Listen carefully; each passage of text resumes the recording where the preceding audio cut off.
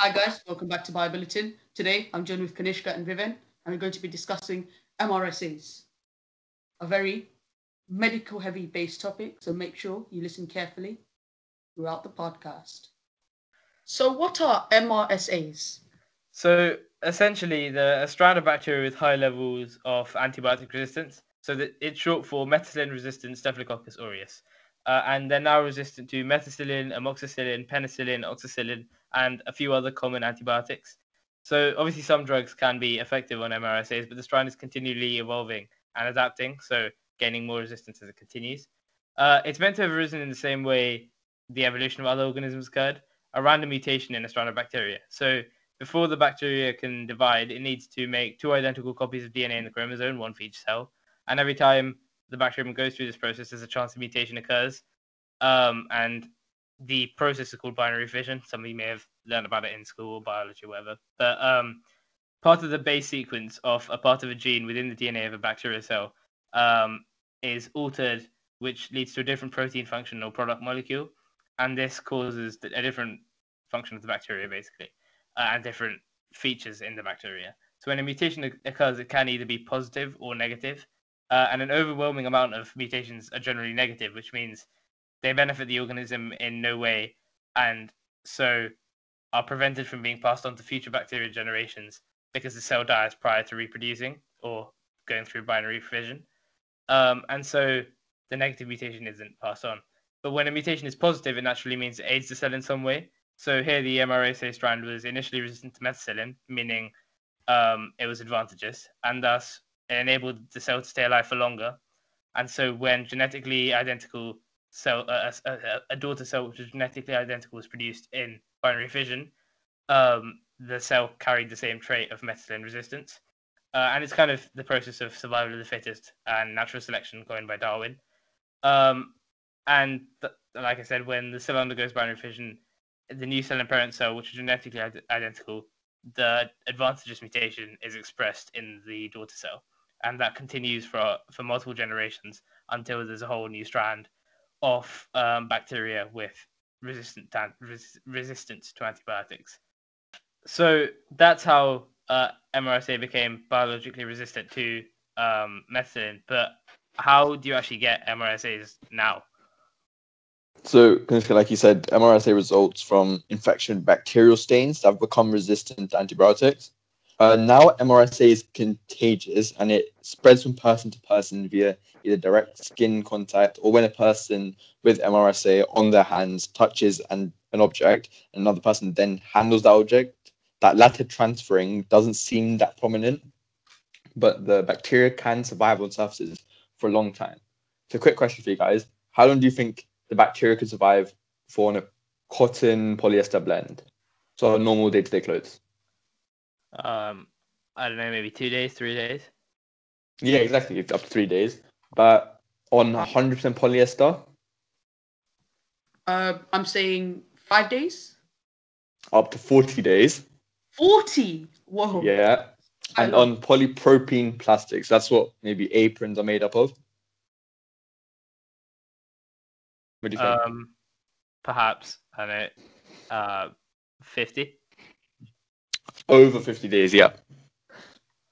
So I thought, quite astonishing how long it can stay on one surface, and yeah, there must be so much spread through that as well. Um, but there are two ways the the bacteria can spread, like I said. But there are two bigger groups, and when I say groups, I mean environments where the MRSA thrives. So there's the healthcare associated MRSA, and it's solely people who have a compromised immune system spend time in the hospital and other healthcare facilities. It's more likely to happen in the hospital naturally. I mean, there's limited space a lot of people, and these people with health conditions may be less able to resist infection. Uh, the other grouping is community associated MRSA. It's everything outside the healthcare setting. That's on living with lots of people, like on campus, having skin to skin interactions, you know? Yeah, so presumably that also applies to like uh, changing rooms for athletes or schools or workplaces and places like that as well. Yeah, and like old antibiotic use too. So there are naturally some symptoms. Who who knows about the symptoms? Okay, so um, having MRSA on your skin does not cause any symptoms as such and doesn't make you ill. you will not usually know if you have it unless you have a screening test before going into hospital. So if MRSA gets deeper into your skin, into the bloodstream, it can cause swelling, warmth, pain, and pus. If it goes even further into your body, uh, it, you, it will cause a high temperature, chills, aches and pains, dizziness, and confusion.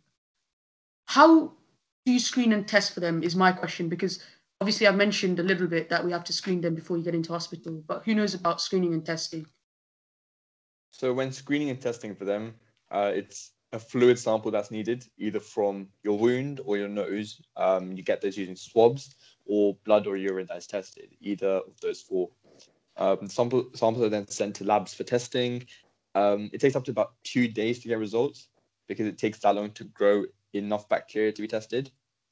There's no real big risk associated with the process, just the normal pain and bruising you get from your blood test. Um, I'm just curious. Does anyone know how you get treated after you know you have MRSAs? If the screening finds MRSAs on your skin, you may need treatment to remove it.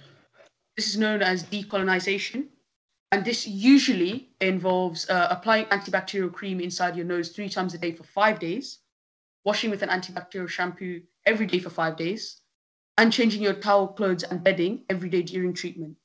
And of course, the laundry should be washed separately from other people and at a high temperature.